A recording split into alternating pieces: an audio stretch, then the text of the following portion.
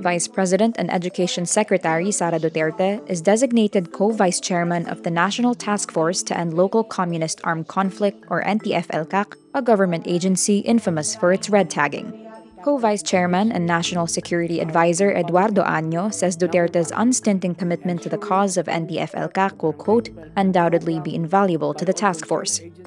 Duterte, daughter of the former president who created the task force, has been red tagging critics, especially those from progressive groups, including Lumad schools. Año adds Marcos has ordered the NTF-ELCAC to continue its anti communist insurgency campaign without let up. Meantime, a social weather station survey shows about 4 out of 10 Filipinos, or 47%, feel it is still dangerous to publish critical things about the administration, even if it is the truth. The survey was conducted last December 10 to 14, 2022.